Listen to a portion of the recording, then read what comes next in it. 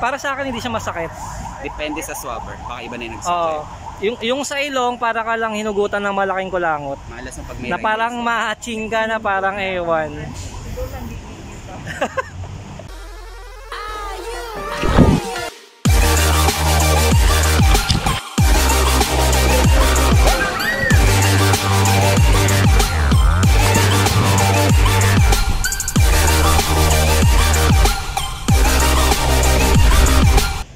What is mga kanegro? So welcome back to my YouTube channel.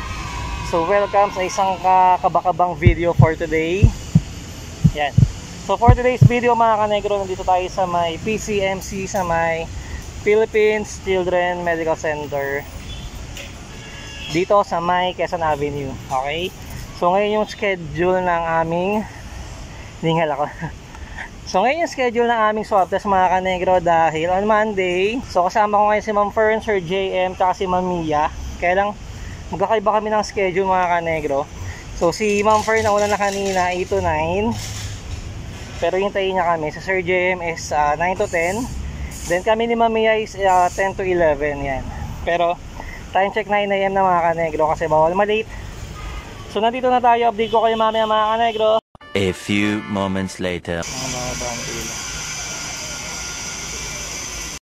Na si Ma'am Fern. Tapos na si Ma'am Fern. Nasundot na. ano masakit? Alam ko malaki ilong ka Ah, waiting kami na Mia. Pwede nang masundot. Ano na si Sir J. And, tapos ka na rin, boy? Masakit din? Ayan, so aside sa pila dito mga kanegro, meron pang isang pila doon. Ayun. Time check mga kanegro, 10.30 na. Ayan, so papunta na kami dun sa isang pila dun sa loob. Kasi meron, meron pang isang pila dun sa loob. Yun yung swabbing area. Yan. So papunta na kami doon. Then another pila ulit. Bago makasundot. Yan, so nandito na tayo sa loob. Yan, another pila ulit. A few inches later. So ayun na nga mga negro. So step 2 lang pala yung kanina. Kasi step 1 kanina, yung unang pila, kukunin nila tong si IF form. Then step 2 doon sa may waiting shed kanina. Ah, check nila, i-recheck nila yung mga information na nilagay mo doon kung tama or what. Then step 3, ito papunta na tayo sa swabbing area. Yan. So nintay na kami ni Ma'am Fern ni Sir JM. What's up guys? Wow. Magbablog din ako. Wow. Ay sa Monday. Yan. So step 3 na kami. Hintay ko lang si Mamiya. Swabbing. Medyo matagal-tagal pala to.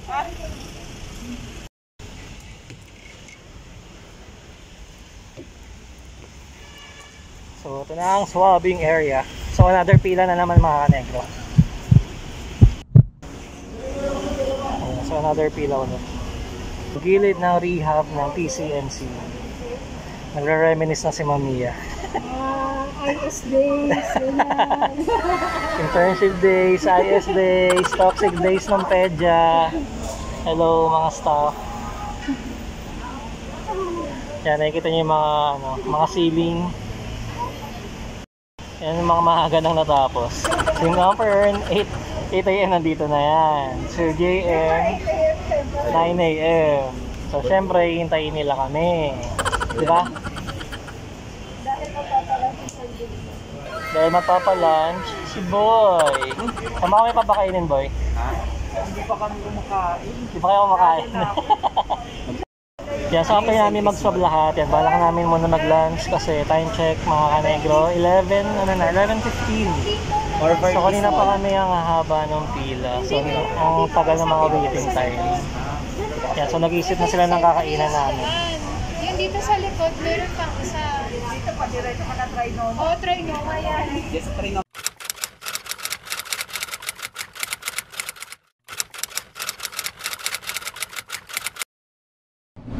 Ah, yung sa ilong parang para akong hinugutan ng malaking kulangot. Ilang sundot sa ilong ko. Dalawa. At sa akin parang isa lang. Oh, hindi ko lang napansin. Na Dalawa yung yun. Okay mga kanegro, yan. So tapos na kami magpa-swab. Tapos na rin si Mamiya. Yan, so hindi naman hindi naman masakit ba? Hindi naman masakit eh. Para sa akin hindi siya masakit. Depende sa na nagsusuot. Oo. yung yung sa ilong para ka lang hinugutan ng malaking kulangot. Malas ang pag may Na parang ma-hatching ka na parang ewan. Hindi akin parang ano naman, okay naman siya mag-swap. So time check ano oras na boy? 11.30. Yan, so 11.34, mula na dumating ako kanina ng mga 9.10, yan. So 11.34 natapos. Eh medyo matagal-tagal din. Nangawit na yung kamay So niya. bawat ano, ano pala siya from step 1 to step 3 din. Eh, step 1 yung medyo matagal. 8 pa kasi sila mag-uumpisa. Oo, tapos step 2 siguro mga 30 minutes. Pero anong oras na kami? Then itong last step, yung uh, swabbing area na, yun siguro mga 30, 20 to 30 minutes din, may mga mga negro yan. So ayan mga kanegro sa lahat na magtatanong kung paano yung magpa-schedule sa ng solve sa PCMC. So ilalagay ko yung link sa description sa baba. Yan. So magre-register lang kayo doon. Then after nyo mag-register mga kanegro, hintayin nyo lang yung ano, hintayin nyo lang yung email nila.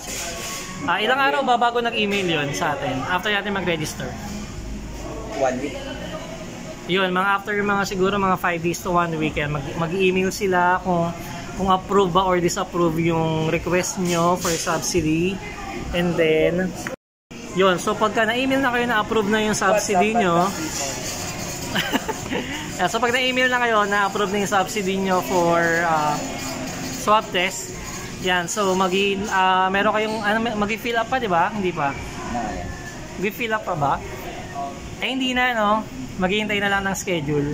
Kapag ka nag, ano, ah, dumating yung schedule, pagka dumating yung schedule, sisend nila yung CIF form, tapos yun yung pipilapan. Hindi, kunyari na-approve na, di ba? So, after ma-approve, maghihintay na lang ulit ng another I-5, ano, Mga one week, yan. Depende. 3 days before nung flight nyo, yan. Doon, magsasend na sila ng email kung, kung anong araw schedule nung swab test nyo.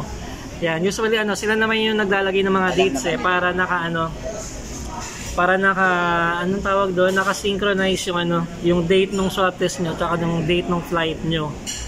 Yan, then after nun, yun, pag uh, nasend na yung schedule nyo, nagkaroon na kayo ng email na may schedule ng swab test. Meron dun sa ibaba, bandang ibaba. So, meron kayong fill up na CIF form. Yan. So, pag finilapan nyo na yun, ah, dapat ano, ah, bawal yung handwritten. So, dapat edited nyo siya. Then, ipiprint out nyo, dadalhin nyo sa araw ng schedule nyo ng swab test. Yan.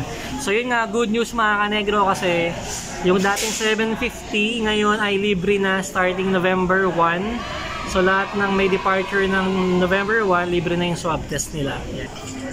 Ay, nako, excited na ako sa Monday. Ako nakapag-impact. Ako din eh, hindi pa eh, kasi nga, ang dami ko pang pasyente itong week na to eh.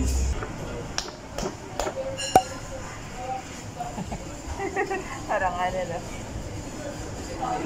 Nataka naman buhay na sabi mo.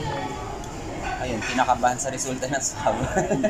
Kaya nga kanina, Hindi gusto kasi ko. ano, tawag ito nung, ma- nung Sunday, na, naulanan na ako, tapos nung Monday, bigla akong sumapakiramdam. Grabe, itong week nga na to, ayoko talaga mabasa ng ulan, nagkapayang talaga ako. Na, Sinipon talaga ako nun, tapos buti wala akong fever, pero parang, parang ano, parang isort. yung pakiramdam. Ako parang mamihina nga ako. Parang, Nakaka-paranoid kasi, di ba? Papaparanoid ka na lang. huwag naman, talagang guys, sayang yung sayang yung Yun ginawa nga, mo, hindi mababawi yun. Kaya nga, hindi nyo naisip ko eh, no? yung gastos. Yung kasi yung masama, ayun yung pangit, di ba? Yung parang nag-prepare ka, Bayad ka na bayad ka lahat. Tapos, Siyempre, walang refund yun. Tapos yung swab test, two days before the flight. Di ba paano kung negative ka nga ay paano kung ibang tao positive, di ba? So wala, sayang na yung mga gin, ano pa naman yun, non-refundable, di ba? Yung malilipat yung pangalan. Kaya ako sabi ko ganun, maya-maya ako sabi, kumita naman ako. Sabi ko, Nakaka-paranoid eh.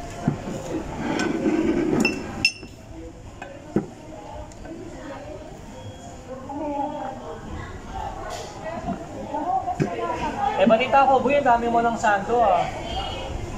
Ang dami mo nang na-prepare na sando. So yan yung in-order namin, yung HBO na yan. Ay, nawala. Anyway, so meron tayong garlic bread dito, meron tayong chicken, and ano ba to? Mojos, then carbonara, Then may dalawa siyang pizza. So, ang pinili namin is manager's choice at saka so ito yung bago nilang pizza, truffle for cheese. Yan. Okay mga kanegros, nandito kami ngayon sa department store sa Landmark. Yan, so titingin sila Ma'am Fern at si Mamiya ng mga susuotin. Or kung may makita rin tayo na pwedeng mabili dito na pwedeng gamitin. Yan, so usapang panty tayo mga kanegro. Yan po yung susutin mo. So ang seamless panty pala.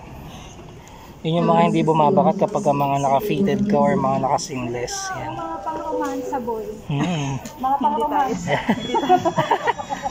Yung panty pang romansa pero yung may suot parang pang romantic baboy. yung panty pang romantic, yung magsusot pang romantic baboy. Yan, connect-connect na siya. Takbot naman eh. Ah, pag ka, hawi-hawi na lang pag Upo na. Lalaki pwede. Ay, ito na ako. May gusto ko to. Ma'am friend, ganito kaya, maganito Tapos ka. magbara ka sa pantakas. Maganyan ka, oh. Hingang malalim lang yan. Hingang malalim buga. Ang mga bibili na ni Ma'am Fern lahat. Abangan nyo, mga kanegro, abangan nyo yung mga, ano, mga PT people, abangan nyo yung mga picture ni Ma'am Fern. Bagay sa'yo, Ma'am Fern. Hindi ko kaya. Di ba malalaglagin sa puwet niyan? Hindi. Kung matubok yung pet mo, hindi nalalaglag. Ayan mga kababayan. Isa na naman pong pangarap ang matutupad. Kanino pangarap? Kanino pangarap po kaya ang matutupad? Abangan. Nakaabang. Kung sino mga magsusuot ng mga pinipili nila. Wala. Card XL tayo. So kailangan mag-ipon ng lakas ng loob. May dalawang araw pa. eh napagod na siya. Okay, time check mga kanegro. It's 4.30 na ng hapon. Nakakapagod. Nandito kami ngayon sa McDo. So papahinga lang kami konti. Kain ng konti kasi nagutom na naman kami dahil kung saan saan naman kami nag-ikot. Nakakapagod, ang sakit sa paa. Yan, abangan nyo na lang yung mga isusuot nila on Monday. So, abangan nyo yung mga isusuot nitong mga babaeng to. ang dami nilang pinamili mga kanegro. Ayan, napagod na siya. Maghapon na kami naglalakad. At syempre kasama pa rin natin si Mamiya. Boy na buhay pa. Ayun, Sir JM, oh. Mo-order pa. Wala rin kapaguran. At natuluyan na nga siya. Enjoy kakabili ng mga susuot niya para sa Monday. Pagod ka na, boy? Ha? Pagod ka na? May sakit na ng binti. Ano? Sakit ng binti ko. Okay mga kanegro, yan. So, ito, pauwi na kami. Dahil pagod na pagod na si Binibining Fernalin. Kapag yun na talagang inaantok na ako. Nakatulog ka na nga eh, abangan mo yung video. Si JM, di ka pa rin tapos? Yan, so dito natin tatapusin ang video na to mga kanegro. So abangan nyo yung mga susunod pa naming video. Kasama ko itong tatlong to si Ma'am Fern, si Ma'am Mia, at si Sir JM. Yan. Hinihingal ako. Yun, kung nagustuhan nyo itong video na to mga kanegro, don't forget to hit the like button, share this video, at huwag kakalimutan mag-subscribe mga kanegro. See you on my next Rexcapade. Bye-bye. Sige, bye-bye. Ma'am Fern. Amia.